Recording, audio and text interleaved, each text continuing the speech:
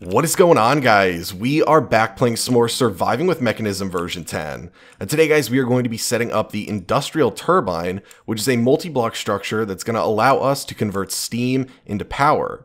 Now I think that this is an absolutely awesome multi-block structure.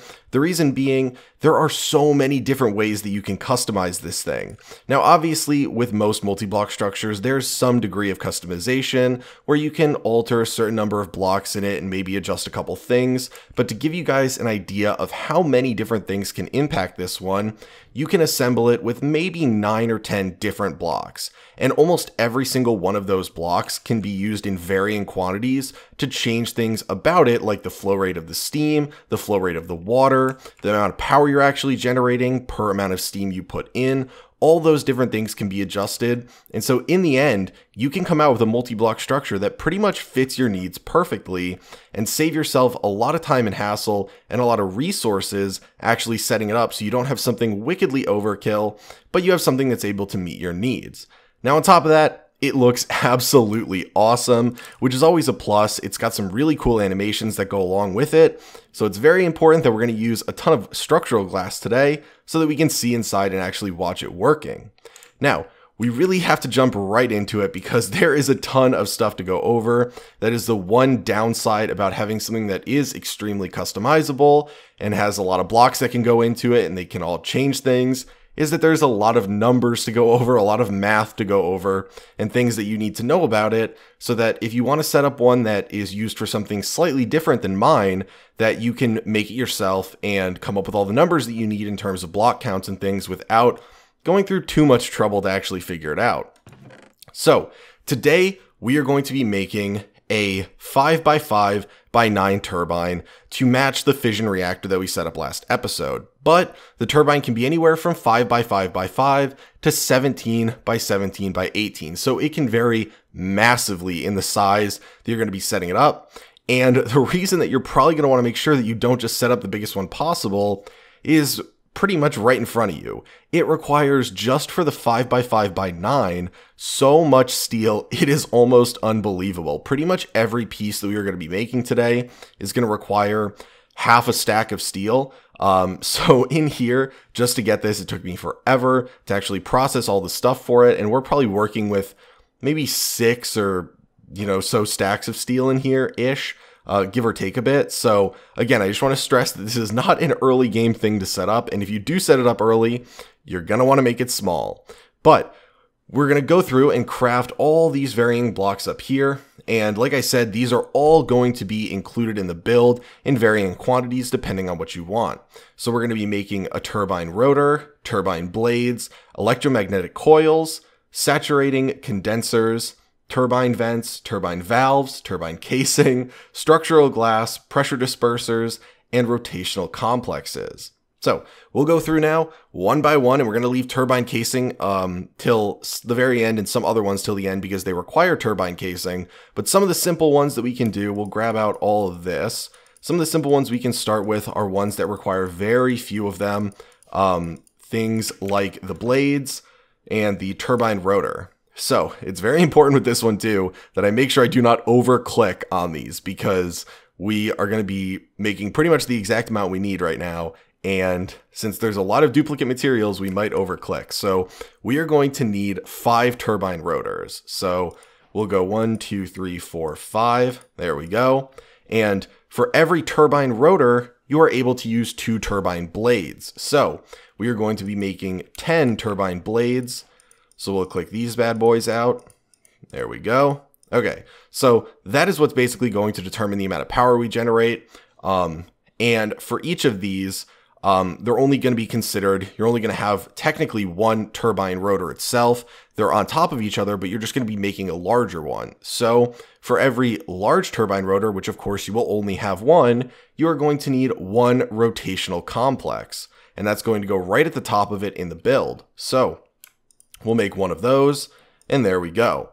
Now, the important thing to remember with this is that um, when you are making these, the number of blades, uh, which is determined by the number of rotors, is going to then determine the number of electromagnetic coils that you need. So, every electromagnetic coil is going to support four of these turbine blades. So obviously in this one, we don't have an interval of four. We're not going to have, you know, we're, we're, we do not have 12 right here, but we have over eight. So we're going to have to act as if we had 12. Um, so we will be making three of these for our setup. And these are going to be uh, a little bit more annoying to make because we have to use the energy tablets for these. So there we go. We got three of those. So that's great. We got down pretty much well, most of the simple things. Um, now we are going to be making the pressure dispersers. Now, the purpose of these is to fill in the, it's hard to explain, but the internal portion of the turbine on the layer that you are going to be using the rotational complex. So imagine it like this. We have a 5 by 5 for the base, and so at the level at where the rotational complex will be, the outer portion of that 5 by 5 is going to be external blocks. It's going to be potentially glass, it might be vents, it might be casing, but the internal part inside that which of course if you come in is going to be a 3 by 3 that is going to be the part that needs the pressure dispersers. So one of those will be a rotational complex. The other eight of them, because of course it's a 3 by 3 so 9 minus 1, is going to be comprised of pressure dispersers. So the only reason I say it like that is because if you are varying the size of this and it's not going to be a 5 by 5 then you need to remember that you're going to need more pressure dispersers,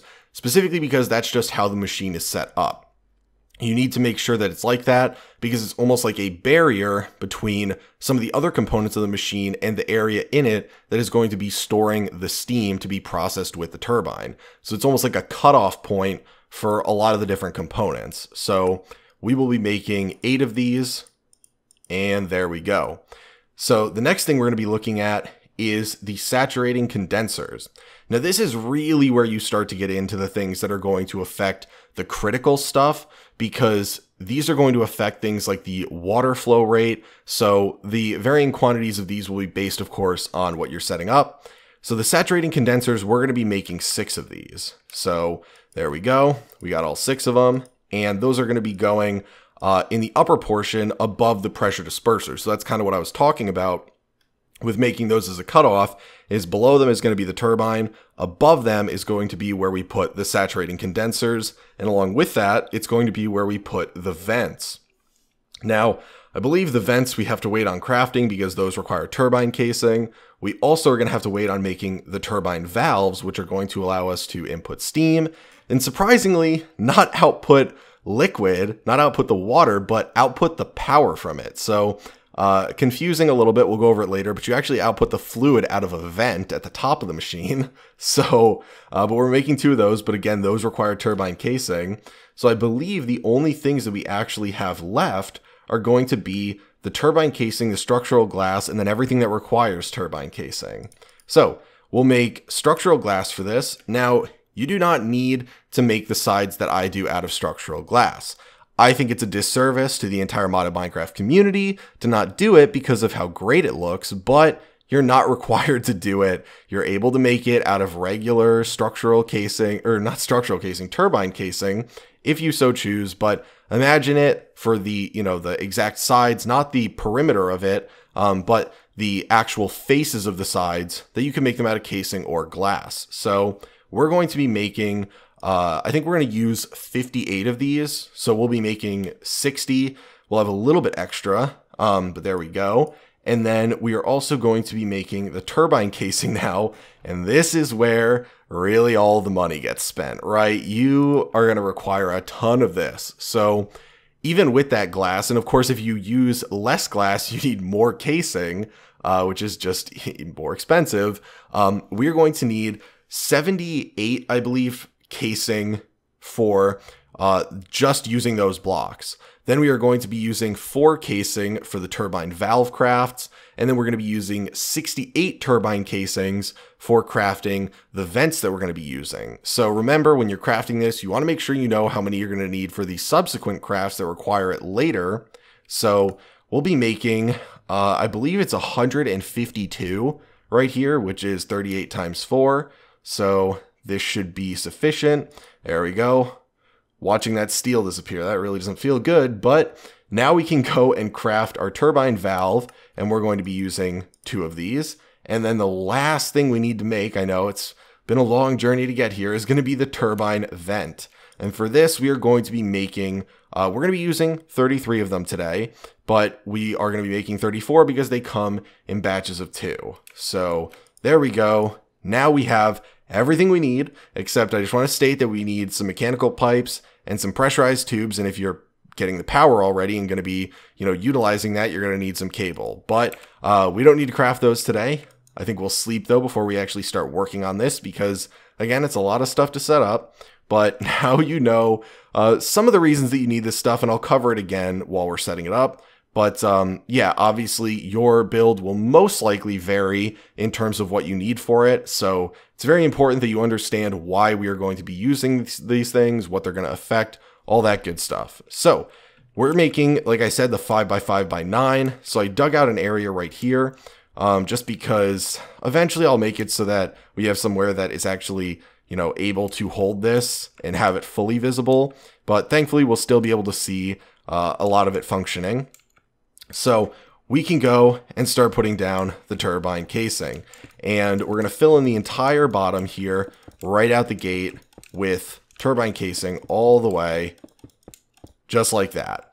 Now, right here, this is your base. The first important thing to know is that the size that you are using for your base is going to determine the amount of rotor height you can have. So right here, we have um, a base of 5 by 5 Now, I know some people believe that it can be determined by the structural height, but it's actually going to be determined um, by your base too. And so it's going to be the width times 2 minus 5. So in this case, we are going to have a width of 5, and so 5 times 2, and obviously that's in parentheses, but uh, so 10 minus 5 is 5. So we're using the maximum amount that we're going to have for this one, um, and that's going to be uh, you know, the reason, because you'll see when we start setting up the rotors, that the turbine blades get larger and larger as you go up. And so the width that is actually able to contain the amount of blades for each rotor is going to, the, the higher you get, the wider it needs to be to actually be able to hold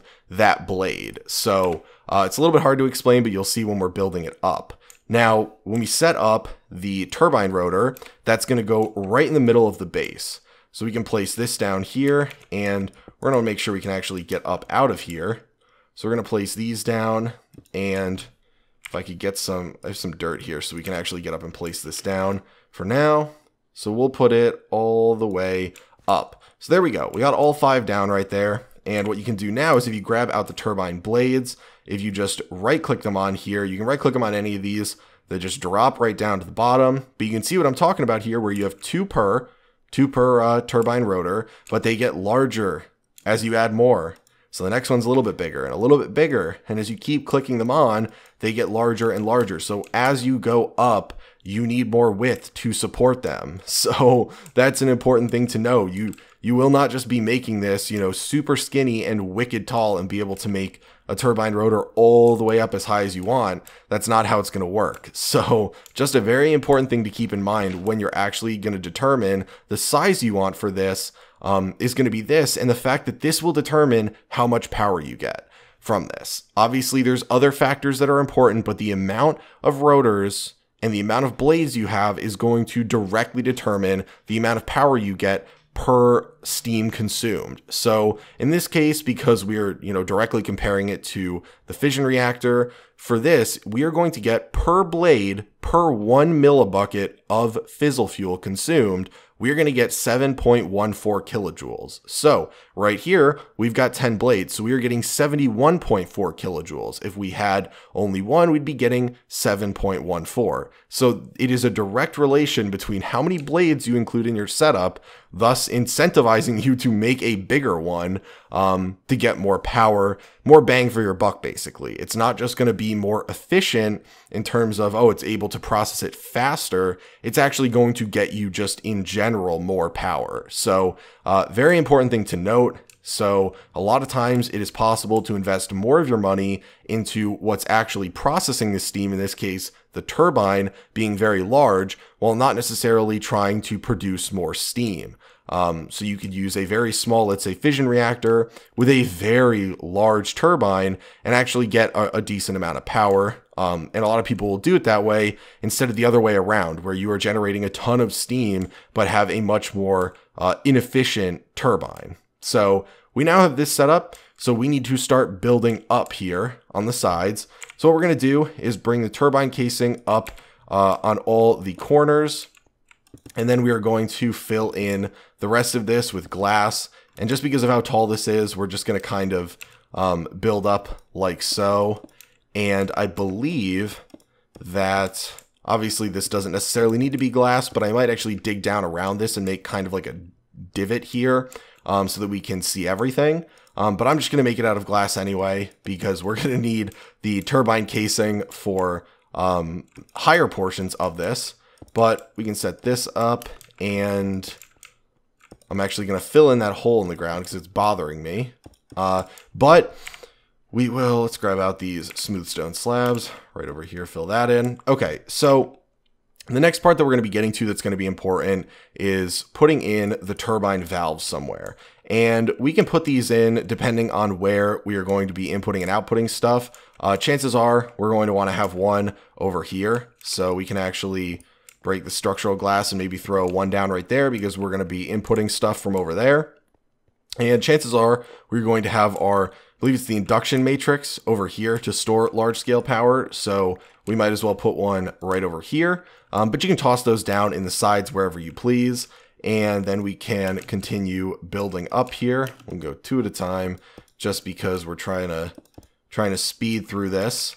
And thankfully, I think this should be the last layer where we actually need to use uh, glass and such. So there we go finish this up here. And there we go. So now we've met the portion of this where the rotor ends. And so this is where the next step starts. And like I said, the rotational complex is going to be placed down right at the top of where the rotor is. So this is where everything's going to be spinning and it goes right into the rotational complex. Now, if you remember what I said, the rotational complex layer is the layer where you need to then surround it with pressure dispersers. So this is where our eight are going to go. Now, obviously the eight, like I said, are only going to cover it, but they don't cover this area out here. That is fine. This is still the external part of this. So uh, we do not need to have the pressure dispersers in the outermost layer in the wall of it. They just need to cover the internal part and separate this lower level from the upper level. So that's all set to go. Now the important thing to remember for this is we are going to be using vents on the outside here. So uh, those are usable for the outside of this setup. Um, and we have a ton of vents to get through. So we're going to be using a bunch up here. The vents are going to determine steam flow. So just remember that the reason we have so many vents and the reason the steam flow is so high is, is because uh, we have so many vents and um, so we have it for that reason. The condensers, we have a lot because we need the water flow to be higher. So what we're going to do is we'll set up the condensers right now uh, and we can put those right in here. So uh, right above the pressure dispersers. Now, they don't necessarily need to be right here, um, but just remember that the condensers, the vents, those things, and the coils are all going to be above the uh, pressure disperser layer. Um, or at least the condensers will be up here, um, and the coils will be up here. Um, we're gonna have the vents on the same layer, but uh, yeah, so set those up there. And then the coils, the important part to remember is they will be over the rotational complex and they need to all be connecting. So you don't want to put them in a checkerboard pattern or anything. They need to all be connected. So we have three right here. We can throw them down wherever we want on this layer as long as they're connecting with the one over the center. Um, and then the condensers can fill in the rest of the area. Obviously, you might not need this many condensers. You might need more coils. You might need less. You might want less condensers. Really, it's up to you what you think you're going to need for your build. But what we're going to do now is fill in down here with turbine vents as we go around like so. And we're to do it again up here. So we're going to fill in the corners and we're to do turbine vents right here, corners again. And we should actually do this um, all the way up. So we're actually going to cover the top while we go around outside of the top like that. And when we get to the other side, we are going to put down the very top layer also as turbine vents. So like that, fill this in, fill that in, and then this is going to be vents right here. And then casing, of course, like we said, all the way around the perimeter of it. So there we go. And now you can see that it is fully formed. So we were able to click on it right in there. Something that really does annoy me is that this structural glass does not uh, become borderless when you end up finalizing this. So uh, I'm bothered by that. I don't know if other people are, but when you look in here now, it's got uh, a UI that comes up and you can see that we are producing zero joules. The flow rate is zero millibuckets per tick. Its capacity is 8 million millibuckets and its max flow rate, which as we know, in this case, it's talking about the steam flow rate is 1,056,000 millibuckets per tick. And that is determined by the size and the number of vents that we have. Now, if we go to the statistics, you can see that it's going to be awesome and tell us the limiting factor. So in these, you have steam flow and you have the production. So like we talked about, the coils can support up to 12 blades. So the limiting factor in production is the blades themselves. We could add two more blades without touching the coils and increase the production without having to, like I said, add more coils. In the steam flow, you have uh, eight dispersers and 33 vents. The vents themselves are going to be the limiting factor for that. Then you have the max production listed and the max water output. Now, the max water output is what's determined by the condensers. And in this case, what we can hook it up to, the fission reactor that is able to be supported by this, is going to be limited by whichever one of the outputs um, is going to be less. So in this case, or the flow rates, I should say. So in this case, we've got on the front of it, we've got the max flow rate of the steam is 1,000 or 1 million millibuckets per tick. The max flow rate of the water is 384,000 millibuckets per tick. So in this case, the lower one is the max flow rate of the water. And so that is going to be the limiting factor for the rate at which we are able to process steam and get it back into uh, liquid and then get it back into our fission reactor. And so an idea for this is if you're cooling the fission reactor with water, making it into steam, then condensing the steam and making it back into water, because you are using 20,000 millibuckets uh, of water to uh, deal with the uh, burn rate, 20,000 millibuckets of water per millibucket of fissile fuel burned per tick, you can determine the max burn rate that you are able to support using your industrial turbine by taking whichever one of these is lower. In this case, it's going to be the max water output, and it's going to be the 384,000 millibuckets per tick divided by 20,000 millibuckets per tick. So you can find out how much water you can have consistently flowing through this. And I believe it comes out at 19.2. And so that is going to be the statistically the max burn rate we are able to support while consistently cycling the amount of required water through our machine and back. So anything over that, and we will not be able to process the required water to cool this off in time and actually get it back, and this will start overheating. So very critical thing to keep in mind.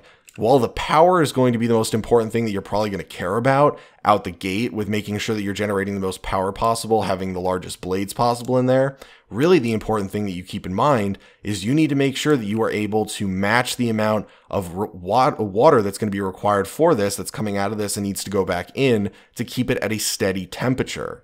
So what we can do now is hook up this valve right here to the uh, we'll do the pressurized tube right here, and the mechanical pipe that we're going to be using is going to come right out the top. So we can go like this and run it along the side here. And if we connect it there, you can see it goes right in there. So the water is going to come out from there. And that means that we are able to get rid of this bad boy right here, which is great because that looks hideous. I hated having this here. So we are able to ditch this and We'll just leave this power running over here. Uh, that's fine because eventually we're going to connect it to our power setup over there. So we will cover this up like so. There we go. And we are able to then take the pressurized tube and connect it right over here. So there we go. And you can see that we should be able to get steam going in here. And I'm actually going to bring this down one. So like that. And you can see now that we have steam in our setup here. And you can see that uh, we are actually generating power from it. Now, I don't know why the turbine is not moving visually in there. I don't know if it's a setting I have or it's just there's so little steam that it's you can't even see it moving. I don't know. Um, but we should be able to have water coming out of this then as it's being processed. Um, and you can see it's, it's very slowly going down uh, and we have no steam input, but you're getting a significant amount of power from it. So we should be able to activate this over here and have the system actually run. Now, an important thing to remember is once this is full on power, it will not run anymore.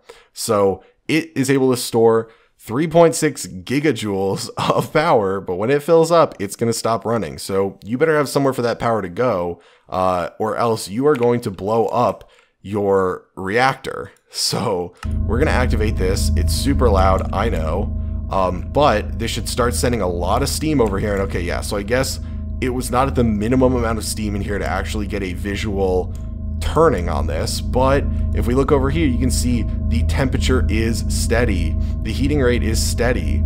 Uh, now what we can do is up the burn rate. So we'll set it to the max burn rate and you can see the temp goes up, but after that, the heating rate steady, burn rate obviously at maximum, temperature steady, and now we're really getting some, some turning going on over here. So we got our steam input, which is nowhere near the maximum that we are able to handle with this. We've got our internal amount of steam. We've got our flow rate, which of course is the same as what the heating rate is over there, which of course is the 20, it's a little bit under 20, but it's basically 20 millibuckets per tick, which matches up with the millibuckets per tick of fissile fuel consumed. The production, like we said, a little bit under the 7.14 times 10 for the number of blades we have which is great. And you can see that we are getting some serious power going on over here. And that is with the smallest reactor we could possibly make over here. And the important thing to look at is just that the coolant is in fact steady over here. And you can see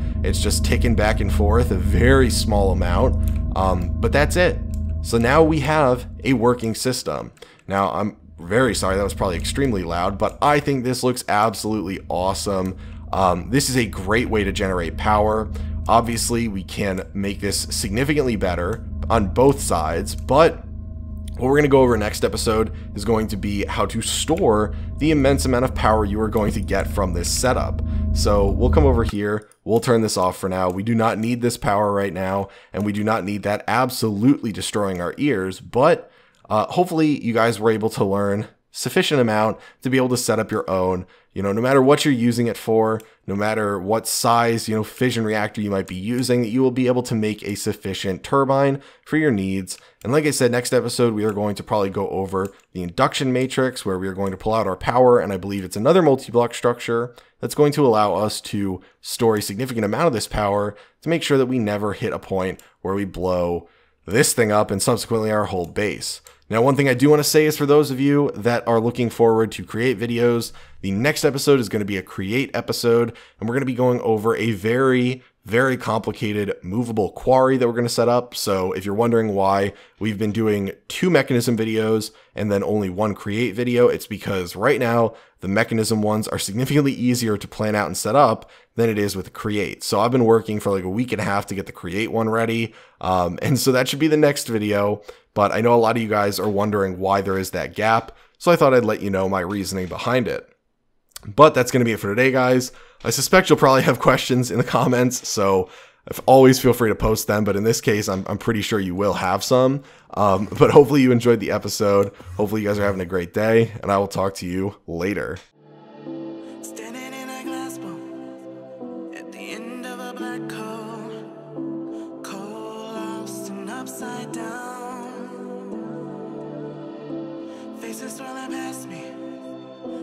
Memories rolling vastly.